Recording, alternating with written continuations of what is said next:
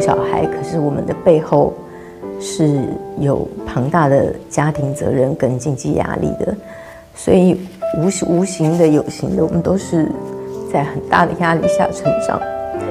在这个成长过程少了少了我们其中一个人，可能就撑不下去，就像一个桌子，它那个脚就会掉一根，好桌子就会垮。本以为大 S 和汪小菲离婚之后，他们会选择各自安好，没想到他们还能掀起这么大的风波。先是大 S 隔空喊话汪小菲没有履行离婚协议，没有按时支付拖欠的五百万元台币。汪小菲很快就晒出了他的财务清单，并喊话：“我不愿意再为这个家支付电费了。”汪小菲生气的原因很简单，无非就是前妻已经再婚，除了孩子的抚养费，他不想再出任何一分钱的。奈何两个人在离婚协议的时候是有过明确规定的，离婚之后，汪小菲还要支付大 S 所住房子的房贷、物业费、水电费、司机费、保姆费等。作为爸爸，对于自己的一双儿女，汪小菲肯定是爱的。汪小菲一直无法见到自己的孩子，他甚至在直播间落泪想女儿的时候，就会抬头看望天上的星星。我每天想王喜悦的时候，我就抬头看看天上的云彩。我记得王旭也在看我，而具俊晔呢，一分钱都不出，住着汪小菲买的房子，甚至和大 S 结婚，连床垫都不换一个，还要让汪小菲的子女喊他为爸爸。汪小菲怎么能忍得下这口气呢？从汪小菲晒出的明细单来看，他每年花一千万去养大 S 和现任老公具俊晔，作为一个前夫，还要养前妻的老公，这一点的确让人难以接受啊！有多爱大 S 呢？带着所有的家当搬来台北，婚后陪伴大 S。一起生活。今年大 S 的生日，媒体问具俊晔送大 S 什么礼物啊？具俊晔神秘的说是一个热吻。具俊晔一直在营造的深情老公人设，出发点就是不用花一分钱，能动嘴巴的绝不会掏钱包出来。第一次请大 S 全家吃饭，居然请的是吃盖饭。那给大 S 孩子第一次的见面礼物是把不穿的裤子亲手改造成的包包。 어 예. 자기야. 백 만들면 괜찮을 것 같아서. 아, 새로 이게 리폼하는구나. 给大 S 的婚戒是纹在手上的，纹戒指的机器都是他从韩国背过来的。 결혼하면 결혼 반지는 우리 좀 특별하게 문신으로 하자.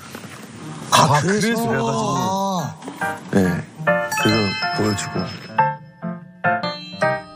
而我们都知道，一般都会首选钻石婚戒。已婚女明星佩戴的钻石婚戒可以说是一个比一个大。那么钻石越大，价格越高，少则几十万，多则千万。但具俊晔和大 S 的婚戒却是纹上去的，很多人拿他开玩笑说万物皆可纹，就连台媒都吐槽具俊晔和大 S 的婚戒刺青超幼稚的。有本事就买个三克拉钻戒啊！你什么在手指上刺青？你搞的什么幼稚玩意？你为什么不挂个三克拉钻戒，然后另外拿一个说，哎，大 S 这就是给你的，这才像个男人嘛，对不对？刺什么青啊，幼稚！果然对人还是自己人狠呐。鞠俊晔连个想要的礼物都没有送过大 S，不过大 S 呢却没少对外帮他找借口，说是他工作太忙了，没时间准备。本以为他这么爱大 S 会花钱购买一套豪宅吧，没想到两个人居住的婚房居然是汪小菲花四亿购买的，现在汪小菲还在还房贷呢。那这个光头哥是白吃白住白睡呀！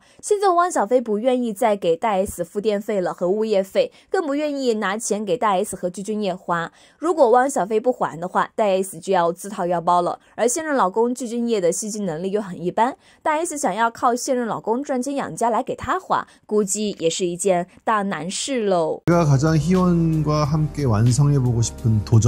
建立幸福的家庭是不是？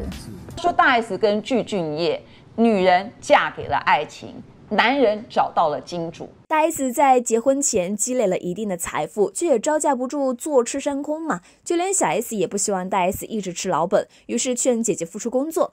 因为他也问我说：“你接那么多工作，你是真的赚很多是不是？”我说：“也不能到很多，但是至少就是有进账啊。”然后他就说哦，我说那你要不要也出来工作一下，就是赚赚钱啊？因为我说因为小孩你到时候请那个家教费什么，你会吓死。而大 S 呢也听从小 S 的劝告，拍摄了一个关于护肤品的广告。台媒爆料称，他的代言费高达九十万人民币，是具俊晔的八倍之多，可见大 S 的吸金能力还是很强的。其实，在这场闹剧当中，具俊晔才是最大的赢家，除了头发，真的什么都得到了。